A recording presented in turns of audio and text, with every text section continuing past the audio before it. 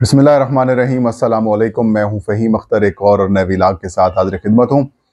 नाजरीन, चेयरमैन पाकिस्तान तहरीक इंसाफ और बतौर जमात पाकिस्तान तहरीक इंसाफ के ख़िलाफ़ अब आखिरी हरबा और आखिरी जो कार्ड है, वो खेलने की तैयारियाँ जो है वो मुकम्मल हो चुकी हैं और चेयरमैन पाकिस्तान तहरीक इंसाफ को इंतबात की रेस से बाहर करने और उनसे पार्टी छीनने और तहरीक इंसाफ के का जो इंतबी निशान है वो ख़त्म करने से मुतालिक इलेक्शन कमीशन ऑफ़ पाकिस्तान में जो काम है वो तेज़ हो चुका है और इलेक्शन कमीशन ऑफ़ पाकिस्तान में मुख्तलिफ़ दरख्वास्तें दायर हुई हैं और इन दरख्वास्तों के ऊपर इलेक्शन कमीशन ऑफ़ पाकिस्तान दस अक्टूबर को इब्तदाई समात करेगा।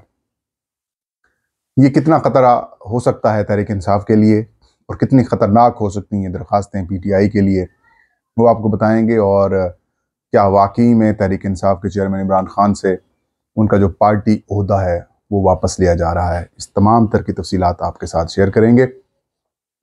नाजिन आज इलेक्शन कमीशन ऑफ़ पाकिस्तान ने अपनी आइंदा हफ़्ते की काज लिस्ट जारी की है। और इस काज लिस्ट के अंदर तोहनी इलेक्शन कमीशन और चीफ इलेक्शन कमीशन के केसेस जो हैं, वो भी समात के लिए मुकर किए गए हैं। 11 अक्टूबर को इन केसेस के ऊपर समात होगी। इमरान खान, असद उमर और फवाद चौधरी, इन तीनों के खिलाफ इलेक्शन कमीशन ऑफ़ पाकिस्तान में ये मुकदमा जेर समात हैं।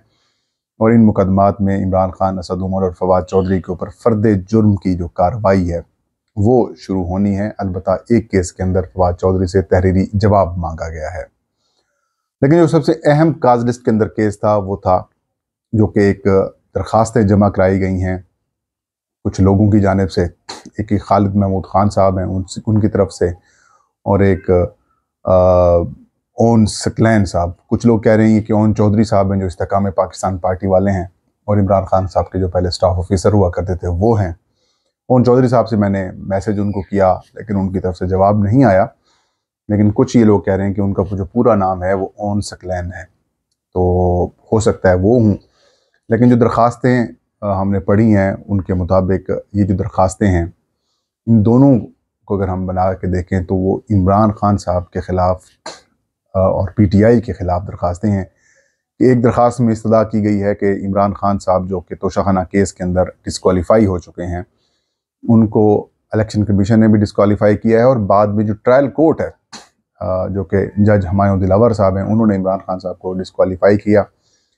वो केस अब इस्लामाबाद हाई कोर्ट में ज़र समात है अलबत् उस केस में इमरान खान साहब की जो सज़ा है वो सस्पेंड हुई है, लेकिन सज़ा मौजूद है।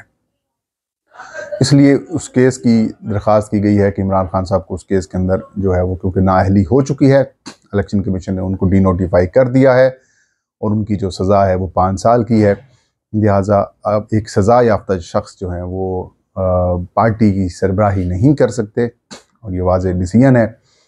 और election commission of Pakistan Imran Khan साहब से जो पार्टी का अहदा है वो वापस ले और उनको बतौर पार्टी चेयरमैन जो है वो हटा दे।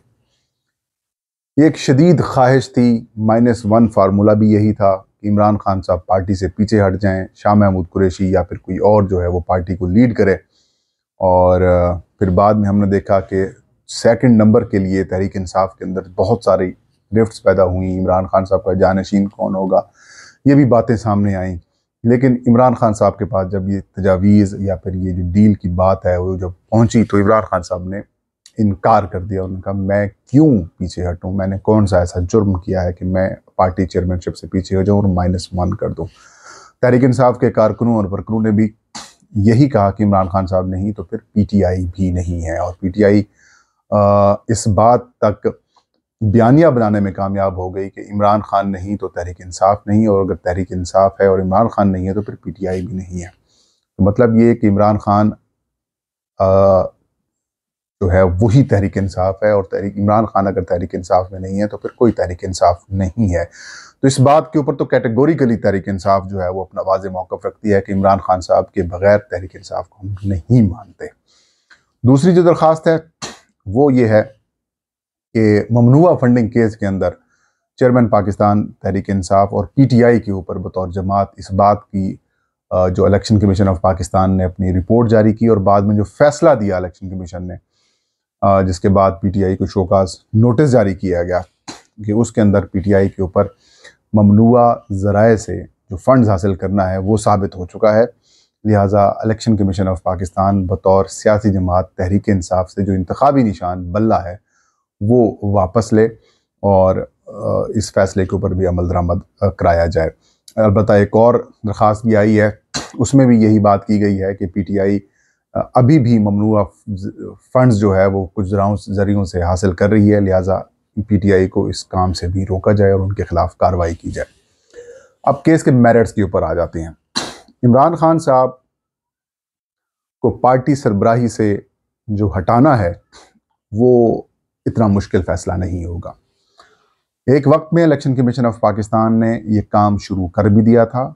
इलेक्शन कमीशन की जो पॉलिटिकल फाइनेंस विंग है, उन्होंने अपनी जो फ़ाइल है वो भी इलेक्शन कमीशन ऑफ़ पाकिस्तान के पास भिजवाई हुई है लेकिन इलेक्शन कमीशन ऑफ़ पाकिस्तान उसके ऊपर फैसला नहीं कर पा रहा था। क्योंकि तहरीक इंसाफ और इलेक्शन कमीशन के दरमियान जो ताल्लुक हैं वो इंतहाई ख़राब हैं। वो इंतहाई लो लेवल के ऊपर हैं।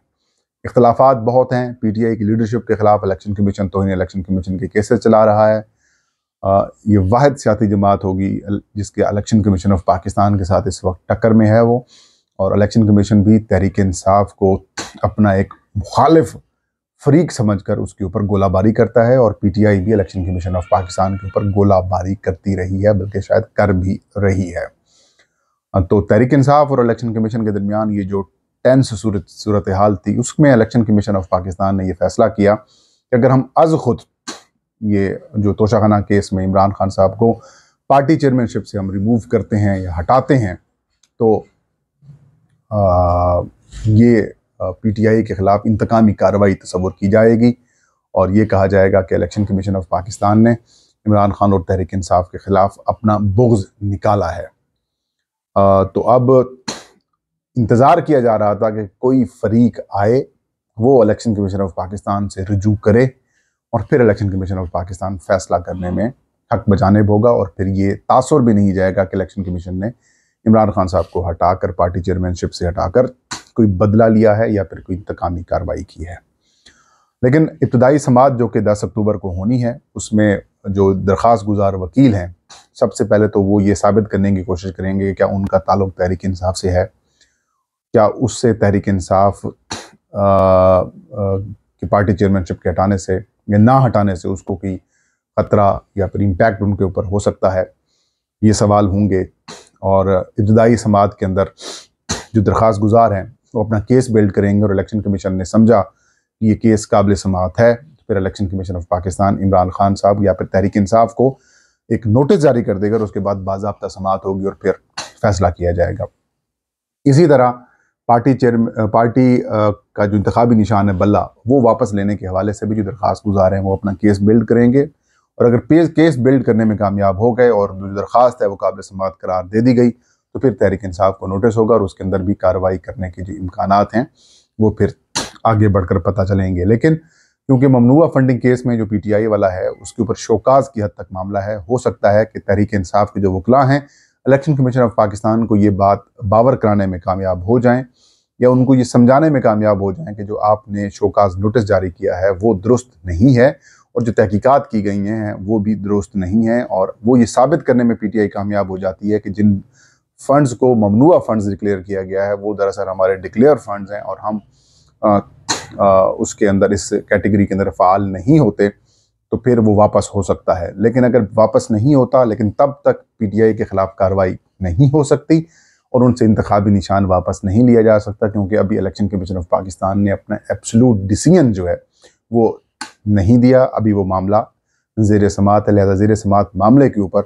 कोई इस तरह का इकदाम या कार्रवाई नहीं की जा सकती। लेकिन फिर भी अगर तहरीक इंसाफ के ऊपर ये ममनुआ फंड्स साबित हो जाते हैं तो भी इंतबी निशान या फिर पार्टी की रजिस्ट्रेशन है, वो ख़त्म नहीं हो सकती। उसके लिए भी मैक्सिमम यही हो सकता है कि जो फंड्स ममनुआ डिक्लेयर कर दिए गए हैं, इलेक्शन कमीशन की जानब से किसी जमात के या फिर पी टी आई के तो वो फंड्स बहक सरकार जो है वो जब्त होंगे। और अगर पार्टी के ख़िलाफ़ कार्रवाई करनी है तो फिर वफाकी हुकूमत अपना एक केस बनाती है। गजट नोटिफिकेशन वगैरह करने से पहले सुप्रीम कोर्ट ऑफ़ पाकिस्तान में उस केस को बिल्ड करना पड़ेगा और सुप्रीम कोर्ट की इजाज़त के बाद ही उस जमात या फिर तहरीक इंसाफ के ऊपर पाबंदी लग सकती है। अदरवाइज़ नहीं हो सकता।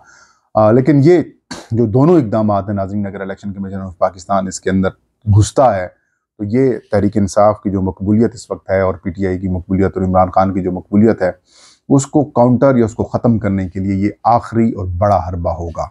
आखिरी और बड़ा कार्ड इसलिए होगा क्योंकि जितने भी सर्वेज हो रहे हैं मतलब जिस तरह की तहरीक इंसाफ के ऊपर मतलब आ, जिस तरीके से कार्रवाइयाँ की गई हैं उनका लीडर जेल के अंदर है और दूसरा महीना होने वाला है वो जेल के अंदर है।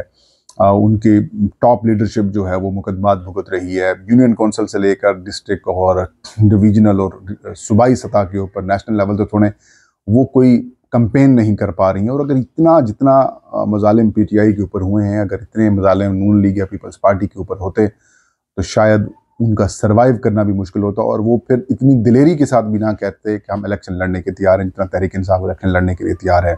या फिर तहरीक इंसाफ की जानब से रोज़ यही डिमांड की जाती है कि आइन के मुताबिक नबे रोज़ के अंदर इंतबात करवाएँ।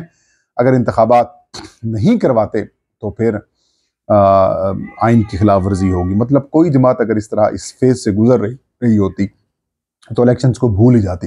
लेकिन पी टी आई डिमांड कर रही है, रोज़ाना की बुनियाद पर डिमांड कर रही है और यही जो खौफ है, हुकूमत इस्टेबलिशमेंट और पीपल्स पार्टी मुस्लिम लीग में और जो दीगर इमरान खान और पी टी आई के फ्री कैन हैं या जो मुखालफी हैं, उनकी नींद हराम की है, बट बैठी है चीज़ें। तो अब आखिरी हरबा अलग इलेक्शन कमीशन ऑफ़ पाकिस्तान ऐसा करता है तो ये तहरीक इंसाफ के लिए खौफनाक चीज़ तो होगी ही, लेकिन इसमें अंदर फिर अदालतों का भी टेस्ट होगा।